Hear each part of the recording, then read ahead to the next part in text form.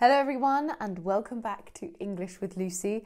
Recently, I made a video about the best British TV series for learning English, and today I'm going to do something similar but with British films. However, I'm not going to talk about all of the mainstream films that you might have already experienced in your own country.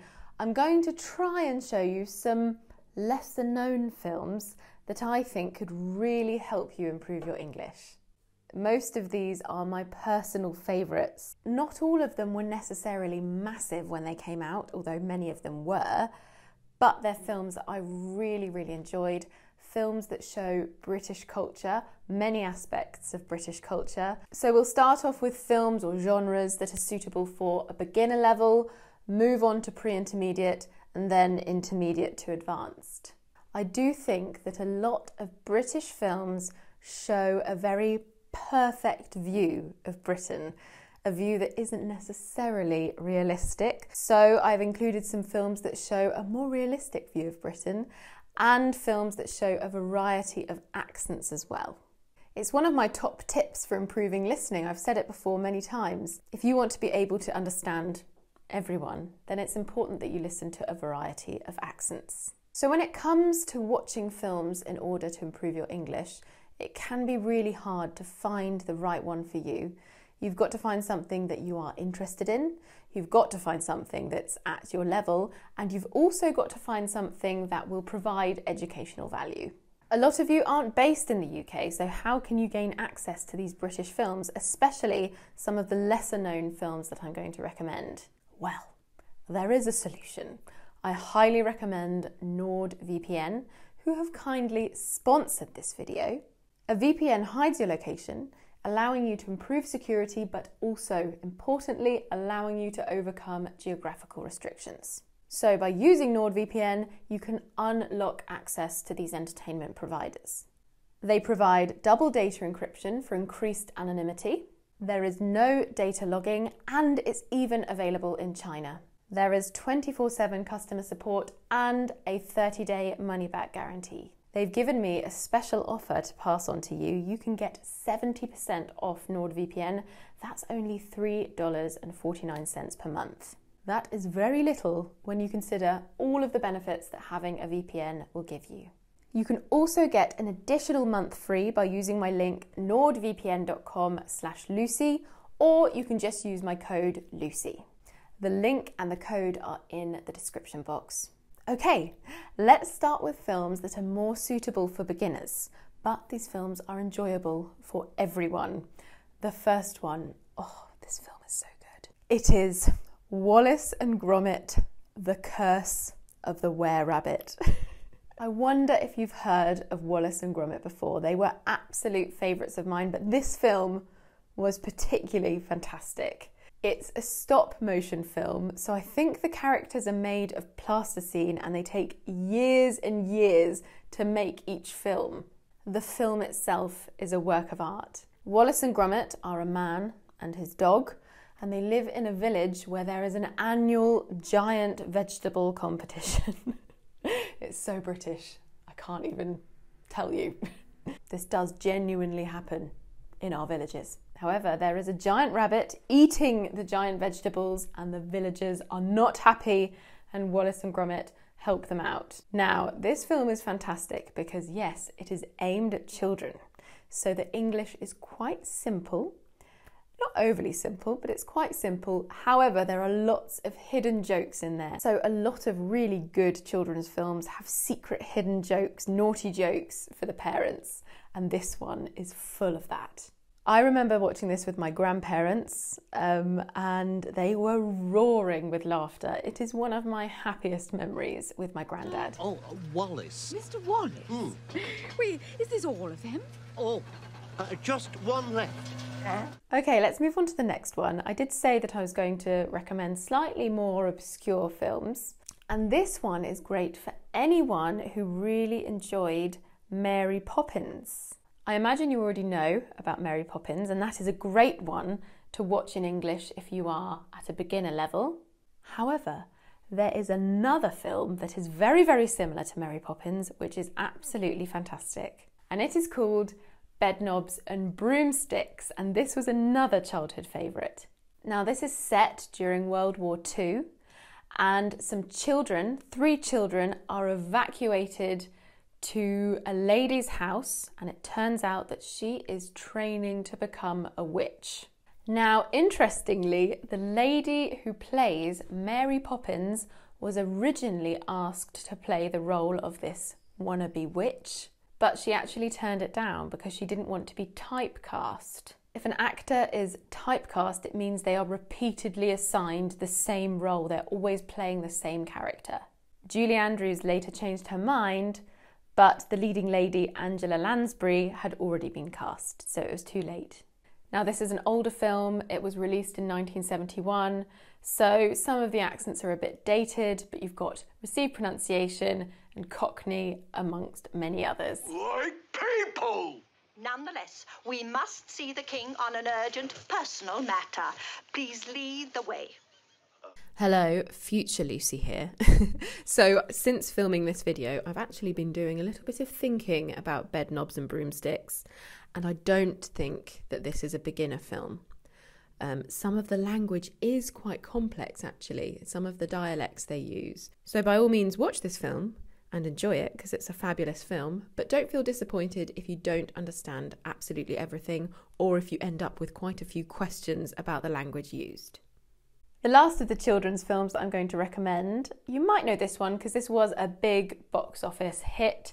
It is The Lion, the Witch, and the Wardrobe. And again, this is set in World War II and again, it's children who've been evacuated.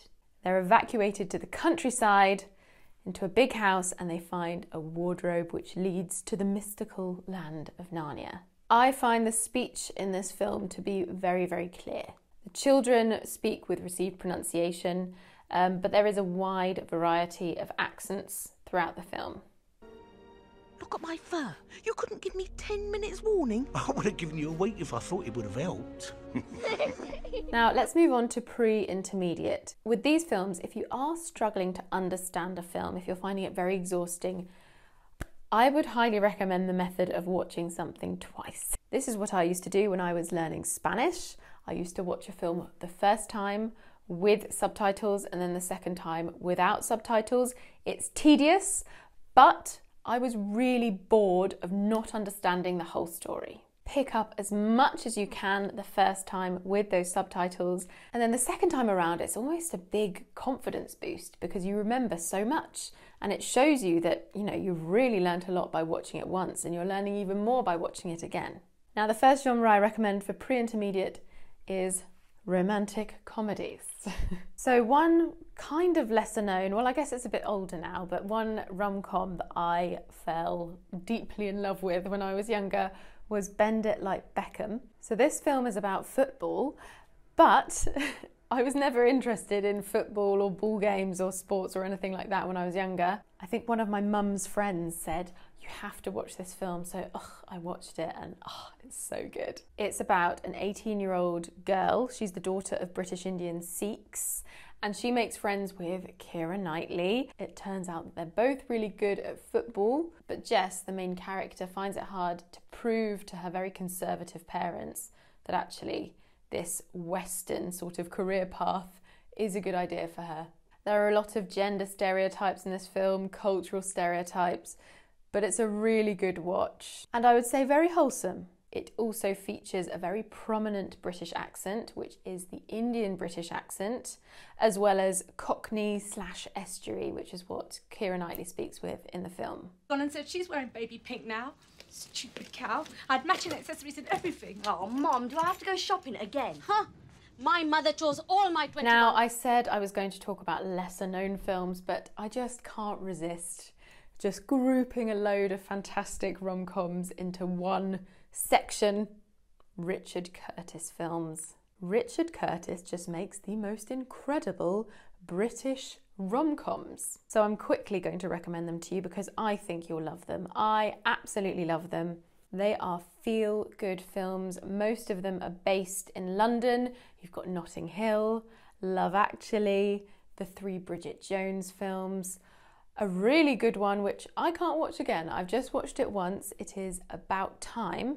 It's about a man with the ability to time travel, but what he does in different times of his life impacts the future. And I found it too emotional. I watched it in the cinema and I had to go to the toilet crying. oh, but if you need a good sob, a good cry, then I highly recommend it. I mentioned the Bridget Jones films. The woman who plays Bridget, Renee Zellweger, she is actually American, but she does a pretty damn good RP accent. And I would say my ultimate favourite Richard Curtis film is Four Weddings and a Funeral. We watched that the other day. It is glorious. You'll love it. We also have another one, which is called Shakespeare in Love, and it stars Gwyneth Paltrow, and it's kind of an imagined version of events where Shakespeare falls in love whilst writing Romeo and Juliet. Another recommendation for sort of pre intermediate level isn't actually a rom com, it is just a com. a comedy, we don't call it com. It is Hot Fuzz, and we watched this the other day. It's by Simon Pegg. I'm going to recommend him again later on in this list. It is hilarious. It's set in the West Country, so we've got a real southern British English accent, the West Country accent, as well as Simon with a London accent. And it shows two policemen, two very different policemen, dealing with a series of murders. It's very, very good. I love that it's set in it. Well, it's a town, not a village. I love that it's set kind of in the countryside, not in London. So many films are based in London, and it's really refreshing to have something based outside of London. I Planning and development. Where George Merchant secured permission to build his dubious mansion on Norris Avenue. So, maybe they were all accidents. Oh, people have accidents every day. Now let's move on to historical or period dramas. Now these are still in pre intermediate, although sometimes the vocabulary is quite niche but the actors tend to speak more slowly and clearly in these dramas. One really great one is Belle. It's quite interesting. It's a very different take on your standard period drama. The majority of the film is spoken with an RP accent. In this film, a British naval officer has an illegitimate child with an enslaved African woman. He brings her back to England. And it's actually inspired by the 1779 portrait of Dido Elizabeth Belle. It's a really good film. It's heartbreaking to see how Belle is treated, but I thought it was a really different take on just your standard period drama. I remember my father's eyes. They were kind, gentle, a little like yours. Mine.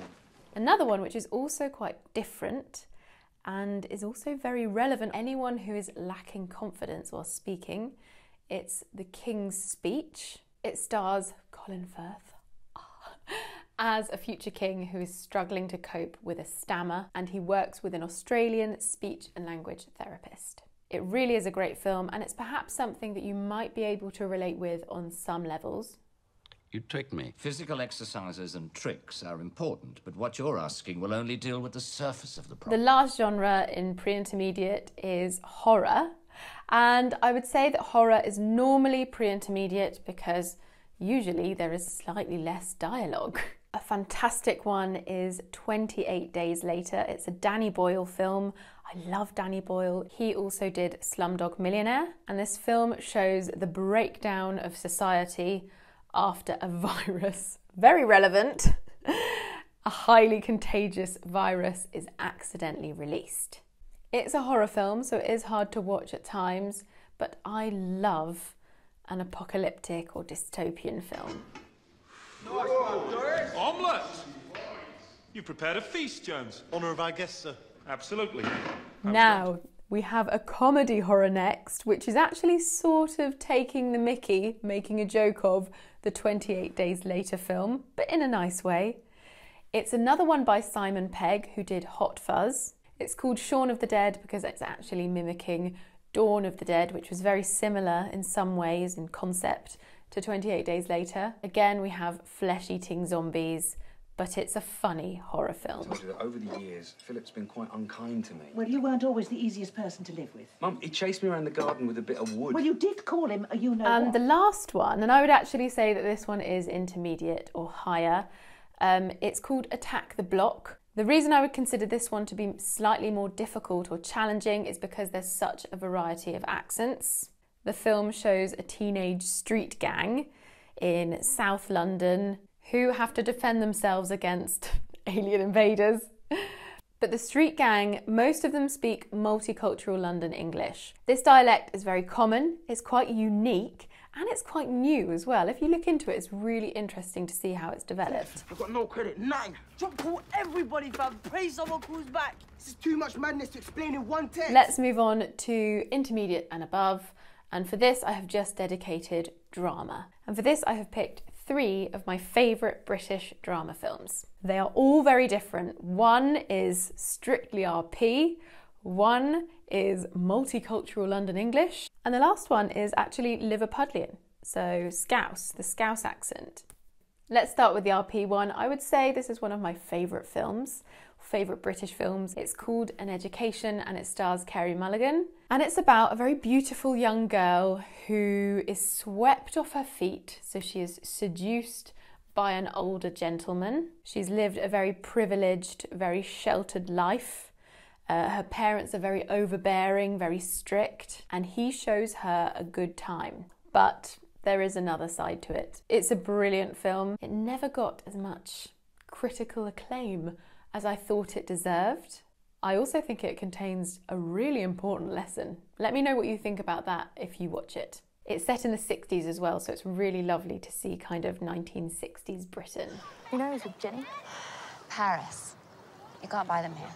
You never bought them yourself? No, I never. Oh, shut up, you stuck up carrot. Now, let's talk about my multicultural London English recommendation. Now, this film astounded me when I was a teenager. I absolutely loved it. I watched it over and over again. I'm sure you can imagine I lived quite a sheltered, privileged life. So, this kind of opened my eyes. It's called Kidulthood. It's a drama that follows the lives of several teenagers who live in West London, and it was written by Noel Clarke, who is a big favourite of mine, and he stars in it as well. I think he's fantastic. You follow the teenagers as they engage in crime and just have a really difficult and challenging time. It's really eye opening and it shows a realistic other side to London. Britain and London isn't all beautiful countryside and glitz and glamour. There is a very real other side to it. I'll tell them to add that when I come in. Hey, check your cameras, man. Nisha, would you call the police, please? This young man has taken this hat and is now causing a commotion. Is that all he's taken? Yeah. The last one is a slightly older film. It's one that my mum recommended to me, and it is, I think it was released in 1983, and it's called Educating Rita, and it stars one of my favourite actresses, Julie Walters. She plays a working class hairdresser from Liverpool who is bored of her everyday life. She feels pressured to have a baby, she doesn't see her career going anywhere, so she decides to enrol in university, into an open university. The Open University in the UK is a distance learning university, and her tutor is Michael Caine, none other. And he's a bit of a drinker, he's just a bit bored with his own life as well. They form a great friendship. So she studies English literature, and at first, her technical ability for the subject is limited by her lack of education, but her enthusiasm helps her overcome this. I'm not going to tell you any more because there's more to the story, um, but I think it's a really, really good one. In. I'm coming in, aren't I? It's that stupid bleeding handle on the door. You want to get it fixed? Uh, yes, yes, I, I, I meant to. So that's it for my recommendations today. I really, really hope you enjoy some of these films. As I said before, I didn't just want to recommend all the films you already know about, like Harry Potter or whatever. I wanted to give you a selection of different films that will help you in different ways, show you lots of different dialects and accents, um, lots of different vocabulary as well. Let me know what you think. I would love to hear other recommendations as well and your reviews of any of these movies and films that you've seen. Don't forget the NordVPN offer that I mentioned in the beginning. You can get 70% off NordVPN and an additional month free by using my link nordvpn.com slash Lucy, or you can just use my code Lucy. The link and the code are in the description box. Don't forget to connect with me on all of my social media. I've got my Facebook, my Instagram, and my Twitter and you can follow me on my personal channel where I do vlogs of my life on an English farm. it's interesting for some people. I will see you soon for another lesson. Mwah.